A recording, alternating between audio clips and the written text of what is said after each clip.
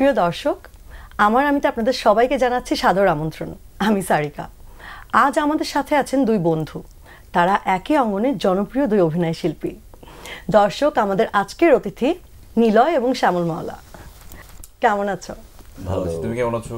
আমি ভালো আছি। আমরা সবাই জানি যে তোমরা খুব ভালো বন্ধু কিন্তু এই একই রকম ইউনিফর্ম পরে আসার মানেটা কি? না ওর সাথে কি হয়ে যেন মিলে গেল। আমি আমার বাসা থেকে আসছি ওর বাসা থেকে আসছে কিন্তু একই রকম হয়ে গেল আর কি। ও তার মানে তোমরা জানতে না? না আমরা জানতাম না। মানে ওভার অ্যাক্টিংটাও একটু ওভার হয়ে গেল। তোমরা কি সবসময় এরকম মিলিয়ে ড্রেস পরো? পড়ি সব সময় অলমোস্ট ট্রাই করি। তো তোমাদের বন্ধুত্ব নিয়ে কিছু জানতে চাই। আমাদের বন্ধুত্ব আসলে কাজ করতে করতে। আমরা কাজ করতে করতে আমাদের আমরা একটা সিরিয়াল শুরু করেছিলাম বন্ধু আমার। হ্যাঁ বন্ধু। ফেরদৌস হাসান রানা হ্যাঁ, ওইখান থেকে হ্যাঁ, রাইট হ্যাঁ, হ্যাঁ। আচ্ছা ওটার নামই ছিল যে বন্ধু আমার। হ্যাঁ। তো সেখানে আমরা অভিনয় করতে গিয়ে প্রথম হচ্ছে আমাদের হয়তো ওইখানে পরিচয়টা হয় তাই না? আমরা শুরুর দিকে মানে শুরুর দিকে অত ভালো বন্ধু ছিলাম না। আমার কলিগ অভিনয় করে টুকটাক অভিনয় করে। আমিও টুকটাক শুরু করেছি মাত্র হ্যাঁ নতুন সেটা কত সালে? টু থাউজেন্ড ইলেভেন বোধ হয় রাইট টুয়েলভ থার্টিন এরকম। আর টুয়েলভ না ইলেভেনের শেষের দিকে। এরকম কিছু হ্যাঁ। আচ্ছা আর এই যে একটু আগে একটু আর্গুমেন্ট হচ্ছিল দেখছিলাম দুজনের ভেতর এটা কি সবসময় হয়? আর্গুমেন্ট খুব একটা হয় না আমাদের। হয় মানে ফ্রেন্ডশিপে তো হয় তাই না? যে যে কোনো একটা জিনিস নিয়ে আমরা আর্গু করি তারপর আবার আমাদের তো মিলটাই বেশি রাইট হ্যাঁ মিল বেশি সেজন্যই তো বন্ধুত্বটা ভালোভাবে আচ্ছা মিলগুলো কি কি? সেটা আমাদেরকে একটু বলা যায়। এই যে হাওয়া বাতাস আলো সবকিছু মিলে যায় একসাথে। মানে বুঝিনি। এটাও মানে আমাদের যেমন আমাদের আমরা যখন মানে আড্ডা দিই বা কথা বলি একসাথে তখন তো আমাদের কথাবার্তা হয় বেশি কাজের ব্যাপার। লাইক আমাদের কাজ বা বাইরের কাজ বা কোনো একটা সিরিজ দেখা নিয়ে বা কোনো একটা মুভি দেখা নিয়ে এগুলো নিয়ে ডিসকাশনটা বেশি হয়। তখন দেখা যায় যে এই কন্টেন্ট হয়তো আমার পছন্দ ওর পছন্দ হয়নি। সেটা নিয়ে একটু আর্গ হতে পারে যে না এই ক্যারেক্টারটা আমার ভালো লেগেছে ও বলল যে কিন্তু ম্যাক্সিমাম ক্ষেত্রেই আমাদের মিলে যায় হ্যাঁ। সবকিছু যে এই এই সিরিজটা ভালো লেগেছে আমি ওকে বলি যে তুই এটা দেখ। হ্যাঁ। তো ওরও ভালো লাগে। আবার ওর ও কোনো একটা সিরিজ বা কোনো একটা কাজ দেখেছে এটা ভালো লেগেছে সেটা হয়তো আমারও ভালো লাগে। তো এইসব জায়গাতে মিলে কাজের প্রসঙ্গ যখন এলোই একটা জিনিস জানতে চাই যে যখন লকডাউন চলছিল সেই সময়টা কীভাবে কেটেছে? এই সময় আমরা অনলাইনে কানেক্টেড ছিলাম কিন্তু তারপরেও আমরা কিন্তু বের হতাম। মানে নিরাপদ দূরত্বে আমরা আড্ডাবাজি করতাম লাইক আমার বাসায় যদি ও আসতো আমরা নিরাপদ দূরত্বে আমরা ছাদে আড্ডা মারতাম। লকডাউনের সময় হ্যাঁ, ছাদে হ্যাঁ, হ্যাঁ। বাসায় ঢুকতাম না. মানে বাসায় ঢুকে শুরু করেছ কবে? আমি কাজ শুরু করেছি অগাস্টের চোদ্দ তারিখ থেকে ঈদের পরে।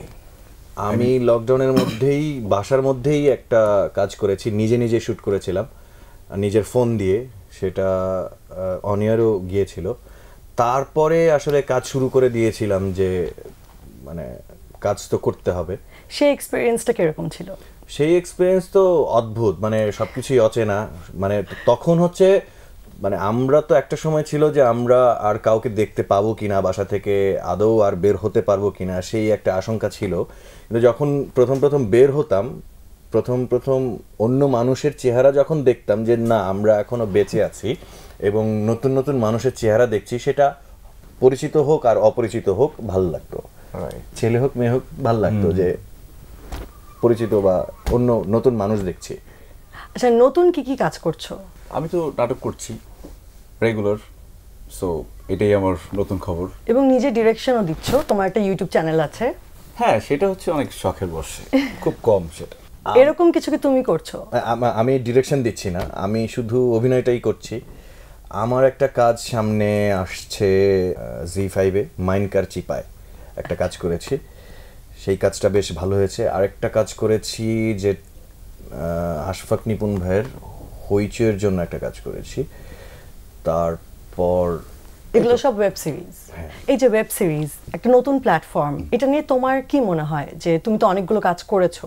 ওটার এক্সপিরিয়েন্স আলাদা। ওটা অনেকটা কাইন্ড অফ মানে ফিল্ম ফিল্ম একটা স্বাদ মনে হয়। ওটার প্রমোশন থেকে শুরু করে লুক টেস্ট থেকে শুরু করে রিহার্সেল এবং ওটার যত্ন কাজের যত্ন তারপর সবচেয়ে বড় যে প্রবলেমটা বাজেট সেই বাজেটটাও থাকে ওই ওই কাজগুলোতে। সো ওই কাজগুলো করে বেশ আরামও পাই আবার কাজগুলো দেখার পরে দর্শকদের যেই রিয়াকশনটা সেটাও বেশ আমার কাছে ভালোই লাগে। সম্প্রতি তুমি সংসার শুরু করেছ সেটা নিয়ে আমাদেরকে কিছু বলো। সেটা নিয়ে কি বলব?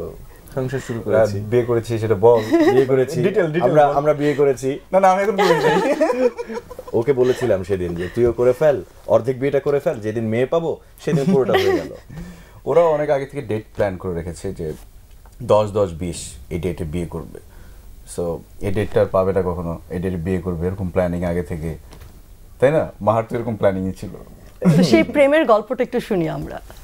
প্রেমের গল্প তো প্রেম করেছি। প্রেম করেছি। প্রেম করেছি বিয়ে করেছি এই তো। পরিচয়টাকে আমরা জানতে পারি? আচ্ছা পরিচয় কীভাবে হলো? কীভাবে প্রেম করলি? তো নিলয় তুমি একটু আমাদেরকে বলতে পারো। আমার তো মানে আমি কি ওর- গল্পটা বলব? তুমি তোমারটা বলো আমার আমি আমি আমার। ও তো ওটা বলছে না। প্রেম করছ। আমি এখন কিছুই করছি না আমি একদম মানে ও শুধু কাজ করছে। কমপ্লিটলি সিঙ্গেল একদম। এলিজিবল ব্যাচেলর আচ্ছা তোমার কথা তো সব নিলয় বলে দিচ্ছে। তো তুমি তোমার স্ত্রীর সম্পর্কে আমাদেরকে কিছু বলতে চাচ্ছ না ঠিক আছে? অন্তত পরিচয়টা কীভাবে হচ্ছে সেটা আমাদেরকে বলো। সারিকা তোমাকে খুব সুন্দর লাগছে। স্ত্রীকে না করে দিয়েছে? তোমাকে যে কি সুন্দর লাগছে কতদিন পর তোমার সাথে দেখা? কেমন আছো তুমি? আচ্ছা বুঝেছি শ্যামল এটা শেয়ার করতে চাচ্ছে না। ঠিক আছে আমরা কাজ নিয়েই কথা বলি। আচ্ছা একসাথে কাজ করতে গেলে কি কি হয়? কোনো মজার কোনো এক্সপিরিয়েন্স বা শুটিংটা কম হয় আড্ডাবাজিটা বেশি হয়। আচ্ছা এই প্রশ্নের উত্তরটা আমরা নেব ছোট্ট একটি বিরতির পর। দর্শক ফিরছি বিরতির পর।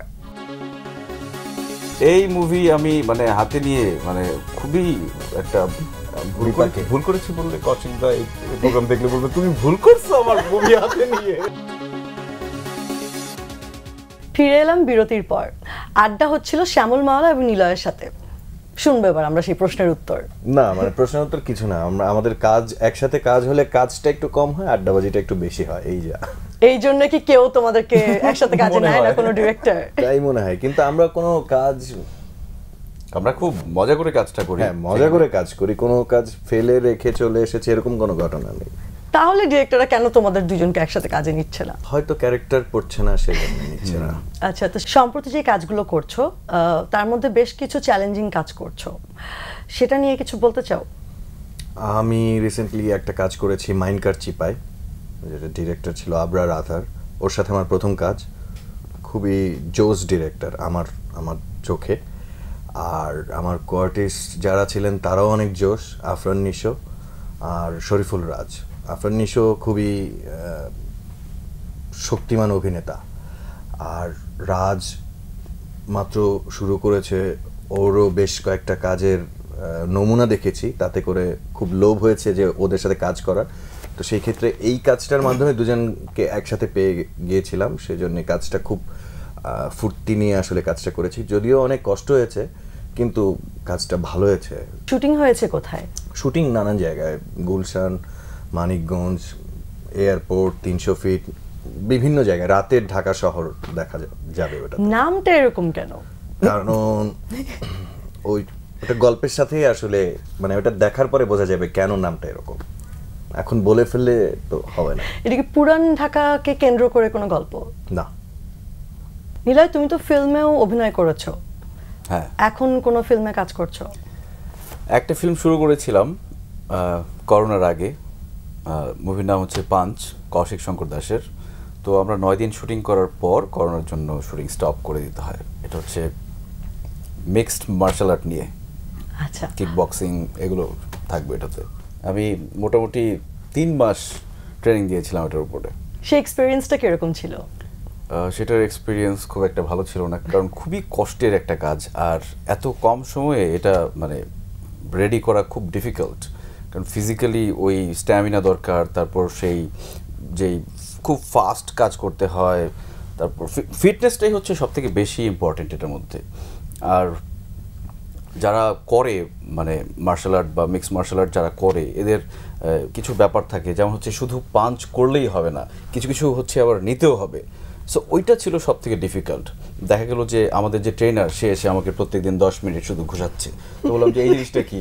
বলল এটা হচ্ছে কন্ডিশনিং করাচ্ছি আপনাকে। আপনি তো হঠাৎ করে একটা ঘুষি খেলে বমি টমি করে দিবেন মাথা ঘুরে পড়ে যাবেন। তো আগে থেকে এরকম খেতে থাকলে তো হঠাৎ করে শর্টের মধ্যে যদি কিছু একটা লাগে প্রবলেম হবে না। শুটিং এর সময় সেটা কীভাবে কাজে লেগেছে? শুটিং তো পুরোপুরি করতে পারিনি তবে অ্যাকশনের জন্য একদিন শুটিং হয়েছিল। সেদিন বুঝতে পেরেছি যে আসলে মানে আমরা তো খুব আরামে শুটিং করি সব সময় কিন্তু সেই শুটিংটা ছিল খুবই কষ্টের। মানে সারা দিন ওই রিংয়ের মধ্যে সারা দিন হচ্ছে ফাইটের সিন হচ্ছে করছি তো করছি একই জিনিস। তো এখানে কি গান নাচ আছে?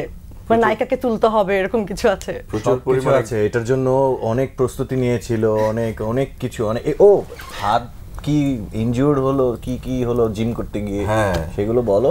আমি প্রথমে করতে চাইনি এই মুভিটা কারণ এটাতে খুব কষ্ট করতে হবে আমি বুঝতে পেরেছি। স্ক্রিপ্ট শোনার সাথে সাথে যে পাঞ্চ মানে অলওয়েজ হচ্ছে একটা পাঞ্চ মুভমেন্টে থাকতে হবে। ছেলেটা হচ্ছে বক্সিং করতে আগে থেকে সো ওই রকম ফিটনেস লাগবে ওরকম বডি লাগবে স্টোরিও ওই রকম প্রস্তুতিটা বলো যে সেটা নিতে গিয়ে তোমার কি কি অসুবিধা? আগে বলে নেই না দাঁড়া না। প্রথমে হচ্ছে আমি রাজি হইনি। কৌশিক দাকে বলছি দাদা আমি এটা করতে পারব না এটা অনেক কষ্টের কাজ। বলছি আরে পারব না মানে আমি একটা প্রথম ফিল্ম করতেছি তুমি করব না কে করবে? তো এইসব অবস্থা থেকে যে ঠিক আছে চলেন তাহলে করি। ঠিক আছে তাহলে জিম স্টার্ট করে দাও। এই তো জিম করতে গিয়ে হচ্ছে এক্সারসাইজ যখন করতে গেলাম তখন বুঝতে পেরেছি যে ভাই এই মুভি খেয়ে গেলাম। এই মুভি আমি মানে হাতে নিয়ে মানে খুবই একটা ভুল করেছি? ভুল করেছি বললে কৌশিক দা এই প্রোগ্রাম দেখলে বলবে তুমি ভুল করছ আমার মুভি হাতে নিয়ে। মানে কষ্ট করতে হয়েছে এবং মোটামুটি আমরা শুটিংটা করছিলামও ভালো বাট প্রবলেম যে বললাম করোনার জন্য মানে পিছিয়ে গেলাম। এরপরে হচ্ছে শুটিং এখন স্টার্ট হয়নি। আবার জিমে যেতে হবে আবার এক্সারসাইজ করতে হবে ফিটনেস আনতে হবে তারপর হচ্ছে শুটিং আবার স্টার্ট করতে হবে। তোমাকে দেখেও বোঝা যাচ্ছে তুমি কিছুটা ওয়েট লুজ করেছ। হ্যাঁ এটা করোনার মধ্যে খুব আপসেট ছিলাম। মেন্টাল হেলথ খুব একটা হেলদি ছিল না সো এই জন্য হয়তো শুকিয়ে গেছি এটা হতে পারে। আচ্ছা শ্যামল তোমার কাছে জানব যে তুমি বড় পর্দায় যখন কাজ করেছ সেটার এক্সপিরিয়েন্সটা কীরকম ছিল? সেটার এক্সপিরিয়েন্স খুবই ভালো ছিল কারণ আমি তখন মাত্র শুরু করছিলাম অভিনয় অভিনয়ের যে পথ চলা সেটা মাত্র শুরু হয়েছিল। তো ওইটার যে ছবিটা গেরিলা নাম ভূমিকায় আমি ছিলাম কারণ ক্যারেক্টারও গেরিলা ছিল আমার। ও খুব মানে এটা নিয়ে খুব প্রাউড ফিল করে যে আমি গেরিলা মুভিতে আমি নাম ভূমিকায় ছিলাম। ও গেরিলা ছিল আর কি অনেকগুলো গেরিলার মধ্যে। এবং আরেকটা জিনিস নিয়ে প্রাউড করে তখন হচ্ছে থার্টি ফাইভ মিলিমিটারের শুটিং হয়েছে হ্যাঁ। ওই যে রিলে যেটা। হ্যাঁ হ্যাঁ হ্যাঁ। তো এখন তো আর ওটা তো হয় না ডিজিটাল ক্যামেরায় হয় সেটা নিয়ে সে খুব প্রাউড করে যে আমি থার্টি ফাইভের আর্টিস্ট তোরা কি? হ্যাঁ আমি দিনে দুইটার বেশি সিন করি না এটা বলি সবসময়। আমি থার্টি ফাইভের আর্টিস্ট আমি দিনে দুইটার বেশি সিন করি না। গেরিলা ছবির প্রথম দিন প্রথম শুটিংয়েই একটা অ্যাক্সিডেন্ট হয়েছিল। সেটা হচ্ছে আমি তখনও গাড়ি ড্রাইভ করতে পারতাম না, খুব ভালো করে। তাও আবার ম্যানুয়াল একটা গাড়ি নেওয়া হয়েছিল সিক্সটি এইট মডেলের নাকি ওরকম। তো সেটার ব্রেক ছিল পাম্প ব্রেক পাম্প দিয়ে দিয়ে দিয়ে ব্রেক করতে হয়। তো মিলিটারিদের সাথে একটা সিকোয়েন্স ছিল যেখানে পাশে জয়াপা ছিল, তা আমি তো চালাতে পারি না। তো কোনো রকমে আমাকে অনিমেষদা বলল যে, এক টানে বের হয়ে যেতে হবে রাতের বেলা। তা আমি এক টানে বের হয়ে গেলাম, যাওয়ার পর সামনে দেখি একটা পিলার। তখন গাড়ির স্পিড ছিল কত? ফর্টি বা ফিফটি পিলারকে কোনো রকমে একটা ঢুস তো খেলামই প্রথমবারই। আমি ভাবছি যে জয়াপা বোধহয় সুপারম্যান হয়ে গাড়ি থেকে বের হয়ে অন্যদিকে চলে গেছে কিন্তু মানে কেউ কি injured না কারও কোনো ঝামেলা হয়নি। গাড়ির একটু ঝামেলা হয়েছিল কিন্তু শটটা ওকে ছিল এবং সেই শটটা গেরিলা ছবিতে আছে। ওয়াও এরকম কোনো এক্সপিরিয়েন্স বা মজার কোনো এক্সপিরিয়েন্স তোমার কি আছে? মজার সেটা আমরা শুনব। কিন্তু বিরতির পর। দর্শক ফিরছি বিরতির পর। আমিও বাইক নিয়ে যাচ্ছি ও বাইক নিয়ে যাচ্ছে। যাওয়ার পর কিছুক্ষণ পরে শুনি ওর বাইকটা চুরি হয়ে গেছে। আমি শুনে খুব মন খারাপ হয়েছিল। ফিরে এলাম বিরতির পর। আড্ডা হচ্ছিল শ্যামল মাওলা এবং নিলয়ের সাথে। কি কথা বলছিলে তোমরা? ওই হয় না পরীক্ষার হলে প্রশ্ন কমন না পড়লে পাশের ফ্রেন্ডদের জিজ্ঞেস করে তো তুমি জিজ্ঞেস করলে না যে মজার কি এক্সপিরিয়েন্স তো ওটা জিজ্ঞেস করছিলাম দোস্ত মজার কি এক্সপিরিয়েন্স তো সেটা কি বানিয়ে বল- বলতে চাচ্ছিল মনে পড়ছে না এখন। বল। বল মানে আমাদেরই কোনো এক আচ্ছা দুঃখের কোনো ঘটনাই বলো আমাদেরকে। আসলে শুটিং এ দুঃখের ঘটনা খুব একটা ঘটে না। কিন্তু মজার অনেক ঘটনা ঘটে যেটা পরে হচ্ছে আর তেমন মজা লাগে না বলতে। কিন্তু ওই সময়টা খুব মজা হয়। যেমন একটা ঘটনা ওর মনে হয়েছে যেটা আমি সেটা বলি। কক্সবাজারে একসাথে শুটিং এ গিয়েছিলাম আমরা। তো ওর শুটিং ছিল আমার ছিল না। আমি একটু হ্যাঁ, আগায় দিই। ওর শুটিং ছিল আমার শুটিং ছিল না। হুট করেই একটা সিন করতে গিয়ে ও সিন শেষে আমার রুমে চলে আসছে। কি কি একটা কি কি ঝামেলা কোনো? হ্যাঁ একটু ঝামেলা হয়েছে। কি? যে আমার এক কোয়ার্টিস্টের এরকম কোমরে হাত দিয়ে হেঁটে চলে যাওয়ার কথা। তো হেঁটে যাচ্ছি শর্টের মধ্যে দেখি ওই কোয়ার্টিস্টের হাজবেন্ড এরকম করে তাকায় আসে আমার দিকে। আমি তো এভাবে ছেড়ে দিয়ে আমি কোনো রকম সিন থেকে পালায় আসছি। তো ওর সাথে বেশিরভাগই এই ধরনের ঘটনা ঘটে। না ওই ওই আমার কোয়ার্টিস্টের হাজবেন্ড হচ্ছে এরকম তাকায় ছিল তো আমি হাত ছেড়ে দিচ্ছি তো একটু পর ডিরেক্টরকে ওডি কমপ্লেন করছে যে আমাকে দেখে কেন হাত ছেড়ে দিল? তার মানে কোনো ঝামেলা আছে? এটাই ছিল প্রবলেম এবং সে খুব ইমোশনাল হয়ে গেছে যে আমি আমার বউকে নিয়ে শুটিং আসছি এখানে। এখানে নিলয় ভাই কেন এরকম করল? ঝামেলাটা কি একটু জানতে হবে। কি ঝামেলা? মানে এরপরে ওই কোয়ার্টিস্টের সাথে মানে শুট করব বা সিন করব তখন ডায়লগ দেওয়ার আগে ভয়। এদিকে তাকিয়ে আছি, husband কোথায়? আচ্ছা এরকম অপোজিট কোনো ঘটনা কি আছে? যে তুমি শুটিং করছ আরেকজনের সাথে এবং তোমার গার্লফ্রেন্ড সেটা নিয়ে জেলাস ফিল করছে সেটা তুমি নোটিস করেছ? সেটা তো অনেক আগে চলে যেতে হবে। হ্যাঁ, আর এরকম ঘটনা তো অহরহ হয়েছে। তার মানে তুমি বলতে চাচ্ছ যে এরপর আর কোনো প্রেম করনি? উম, না সত্যি করিনি। সত্যি বলছে? হুম সত্যি। আমি সাক্ষী। তুমি প্রেম নিয়ে কথা বলবে না তুমি বিয়ে নিয়ে কথা বলবে না। তাহলে আমরা কি দুজনের ছোটবেলার কথা কিছু জানতে পারি? আমাদের ছোটবেলা তো দুইজনের আলাদা আলাদা ছিল। না আমাদের মানে শৈশব কোথায় কেটেছে কীরকম কেটেছে? ওর সাথে আমার একটা মজার ঘটনা আছে। সেটা হচ্ছে ও তখন বাইক চালাতো আমিও বাইক চালাতাম। তো ওর সাথে খুব একটা মানে তখনও বন্ধুত্ব হয়ে ওঠেনি। বাইক শৈশবে না, পরিচয় মানে কবে হয়েছে? আমাদের মিডিয়ার শৈশব। মিডিয়ার শৈশব। তো তখন লালমাটিয়ার দিকে একবার আমি ক্রসিং এ দেখা হয়েছিল। হ্যাঁ। আমিও বাইক নিয়ে যাচ্ছি ও বাইক নিয়ে যাচ্ছে। যাওয়ার পর কিছুক্ষণ পরে শুনি ওর বাইকটা চুরি হয়ে গেছে। শুনে খুব মন খারাপ হয়েছিল কারণ ওইটাই লাস্ট হ্যাঁ। ওর সাথে আমার দেখা হয়েছিল সেদিন। মানে দুজনেই বাইক চালাতাম দুজনের মধ্যে একজনের বাইক চুরি হয়ে গিয়েছিল। এই একটা ঘটনা মনে আছে মিডিয়ার শৈশবের কথা বললাম। মিডিয়ার আগে চলে যাই তাহলে। আমি তো আসলে বড় হয়েছি সাভারে।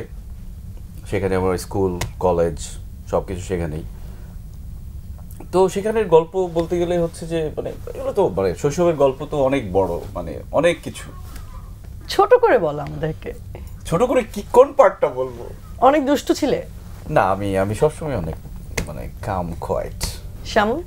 আমি আসলে অনেক দুষ্টু ছিলাম ছোটবেলা থেকেই। আমি থিয়েটার করতাম আর খেলাধুলা করতাম প্রেম করতাম না ছোটবেলায় কারণ প্রেম করার মতো যোগ্যতা বা কোনো ওই ধরনের ভালো যে ওর মতো চেহারা সুন্দর চেহারা হতে হয় সেটা আমার ছিল না। তো থিয়েটার করতে করতে একটা সময় পাপেটিয়ার হয়ে যাই সিসিমপুরে পাপে পাপেট্রি করতাম। পাপেট্রি করতে করতে তারপরে অভিনয় ছোটবেলা কোথায় কেটেছে? ছোটবেলা শাহবাগে কেটেছে। শাহবাগে একদম কেন্দ্রস্থল যেখান থেকে আসলে একটা মানে বাংলাদেশের যে কোনো সুখ দুঃখ শুরুই হতো আসলে শাহবাগ থেকে।